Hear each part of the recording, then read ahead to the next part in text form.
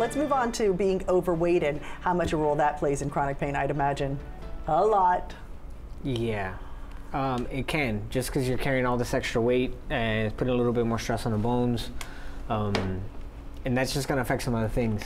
Especially like when you are overweight and you have obesity, generally that comes in conjunction with metabolic disease, right? So sometimes when you have obesity and you have that, you have hypertension and you have type 2 diabetes and you have something. Now, I'm not saying that everybody does, but that, that can definitely be something that exasperates your pain because at that point you're changing some of the hormonal responses. You know, uh, we talked about cortisol earlier and cortisol, how, how it is a stress hormone. It has a bunch of other different like functions mm-hmm. in terms of your body being able to utilize like blood sugar, for instance, right?